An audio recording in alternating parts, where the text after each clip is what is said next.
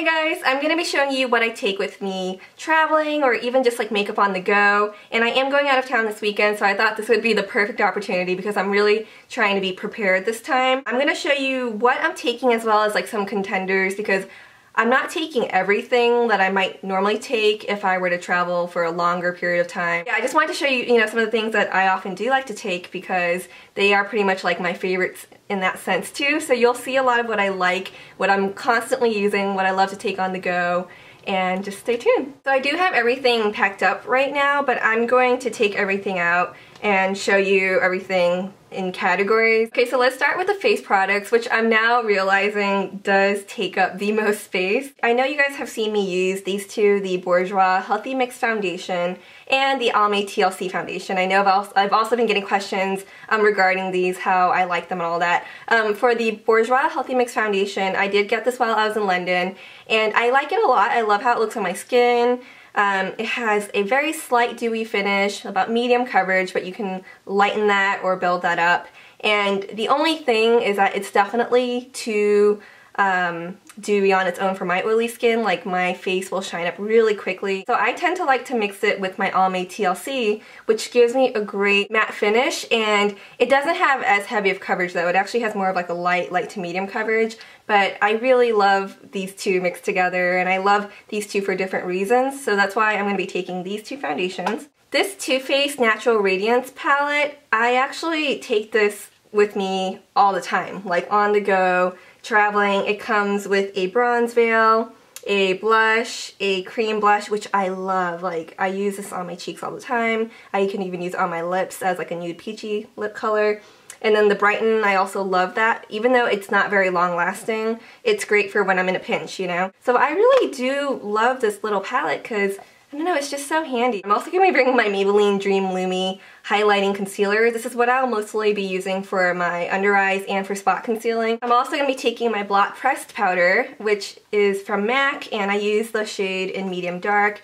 And this is just a great powder to mattify my face, and I just think it does a really good job like oil control, shine control wise. Along with that, of course, I have to have my blotting sheets and these are the e.l.f. Professional Shine Erasers. Comes with 50 blotting sheets and these usually cost like a dollar. Another powder I'm taking with me and this is so bulky that it, it drives me insane. Like I'm gonna have to find a way to depot this and just figure out what I'm gonna put it in. I kind of just want it to be its one individual thing but it's so, look how huge this is. Let me show you guys.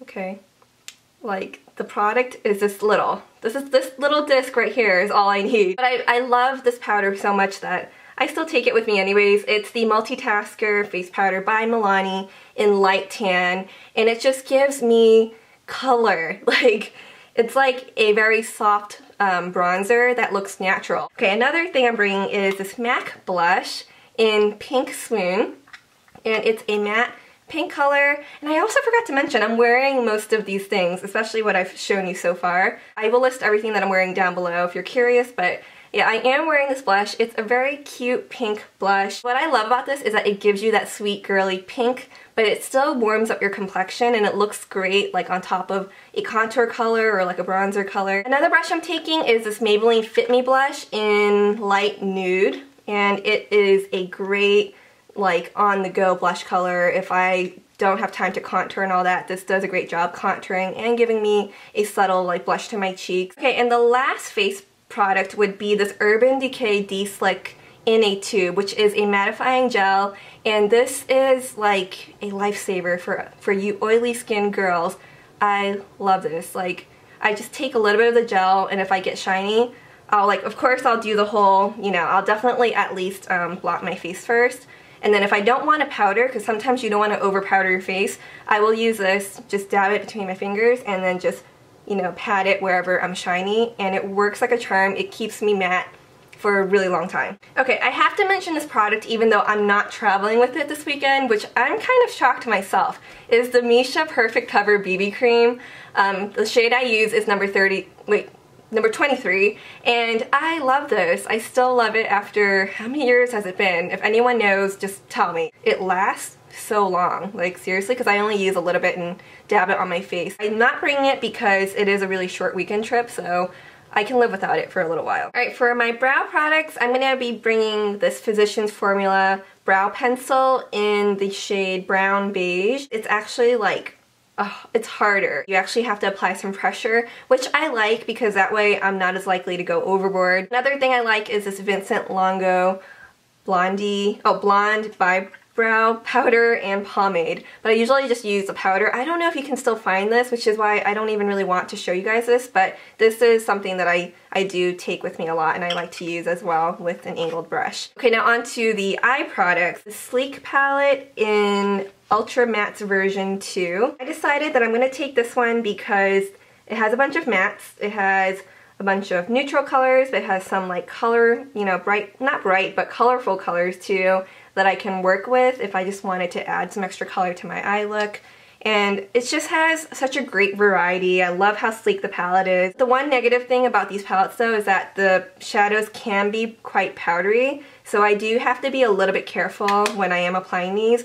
But overall, I really love them. Okay, the other eye palette I'm bringing is the Stila in the Light palette. And I am mostly wearing um, shades from this palette today. I'm wearing this one right here, Luster, as well as Bliss. I love this because it has a good range of mattes and shimmers. It has like a good variety of colors. It even has Kitten, which I know is really popular. I wore that in the inner corner. And I just really, really like this palette. It's a solid palette. So yeah, I'm gonna take these two palettes. I did want to briefly show some contenders that I have traveled with. One would have to be my Maybelline what is it called? Sunbaked Neutrals palette. And I love this. The brownish matte shades are just amazing quality. I, I swear to you, like for this little drugstore product, it's really great quality. I love the olive greens in here and, you know, the shimmering white. It's just got pretty much everything I need for like a quick neutral eye. I really do enjoy this Too Faced Naked Eye palette.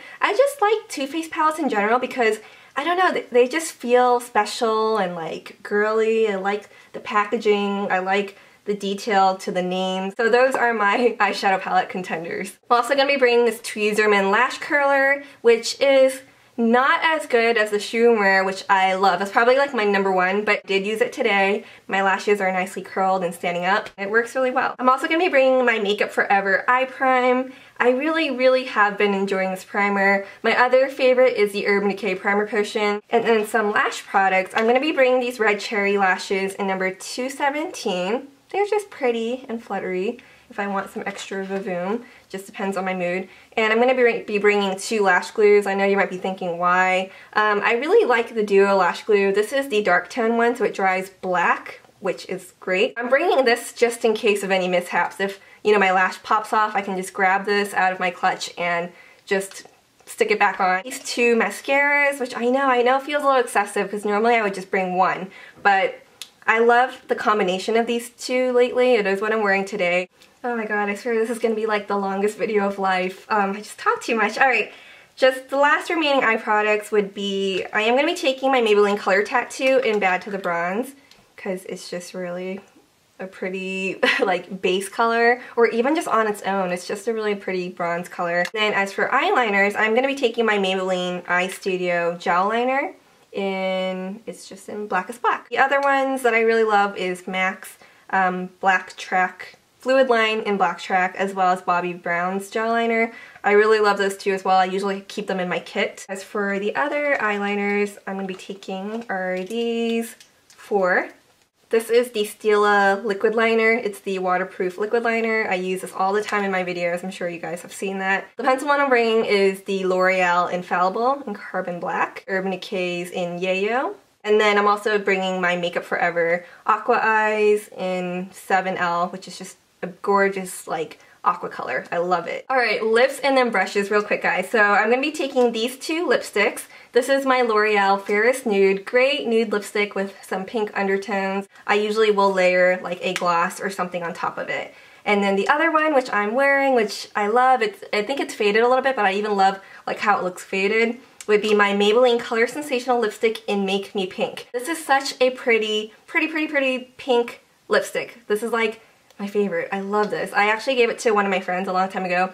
She fell in love with it. I loved how it looked so much on her that I had to get one for myself. So that's Maybelline's Color Sensational Lipstick in Make Me Pink. And then I also have the Maybelline Baby Lips. This is just for, you know, some moisture. Um, it does actually add a little bit of light tint to my lips too. In Pink Wink. I think this might be a limited edition one. Then the two lip glosses I'm bringing is the CoverGirl Wet Slicks Amaze Mint in the shade Slap Happy. And it's a pretty like, you know, kind of peachy, corally shade. I like it because it's minty and it's not like too sticky on my lips. And then the other one that I love is the Revlon Color Burst Lip Gloss in Orchid. As for brushes, I'll go through them real quick. There, this little brush case doesn't fit this. This is why I'm going to be putting it in this along with other things. The foundation brush I'm bringing is a Sigma Flat Angled Kabuki brush. I think out of all the Sigma's brushes, this one is definitely up there for me. I really, really love this flat angled kabuki brush. This tapered face brush, also by Sigma, because I really like it for a powder brush and I also like to use it you know, to apply bronzer. And then the Sigma large angled contour brush. I like their face brushes, I really do. Um, this is actually the one from the Paris palette. I got grabbed this one because it's smaller and it fits well in here. And I just, this is such a great blush brush. And then I also have a couple Sonia Kashuk brushes. This is, I believe, I'm not sure if it's called the blending brush, but it's a really great blending brush as well as this, um, like, I don't know if this is like the medium, I wish they had the name on here. I think it's like the medium shading brush or something like that, but it's flat, it's like stiff enough, it's great for patting on shadow. And then I also have this MAC, I think this is like a travel size, um, angled brush. It's in the 265, I think. I don't know, I don't like numbers. Um, and then I also have the e.l.f blending brush. Yeah, blending eye brush, which is like a dollar. It works wonderfully. Sigma Performance Shader Inner Corner brush for the little inner corners or for detail work. And lastly, I have the Sigma um, eyeliner brush. I also have a few items in this little pocket right here. What I have is a nail file just really important just in case sometimes if your nail chips or something lifesaver. So this is from Tweezerman. And then also tweezers gotta have tweezers. These are also by Tweezerman. Just great all around tweezers. And then a little nail clipper which will work well if I want to trim my lashes or just to from my nails, I guess, if I have like a chip nail or something. That is basically it. Before we end this video, I do have these three Too Faced palettes that I would love to give away to you guys. Too Faced has sent me some things to try out and with these, instead of keeping them for myself, I'd much rather give them away to you guys. So feel free to click this annotated link to go to the giveaway if you'd like to try to win one of these. I'll also post the link down below if you can't click the annotation for whatever reason. So I just wanted to say thank you guys so much. I know I just, you know, passed 300,000 subscribers and I am just so appreciative of every single one of you that took the time to subscribe and take the time to watch my videos and, you know, rate and comment. It really means the world to me and I love you all so, so much. So thank you, thank you, thank you. And that is basically it. I hope you guys enjoyed this video. I will see you guys next time. Bye!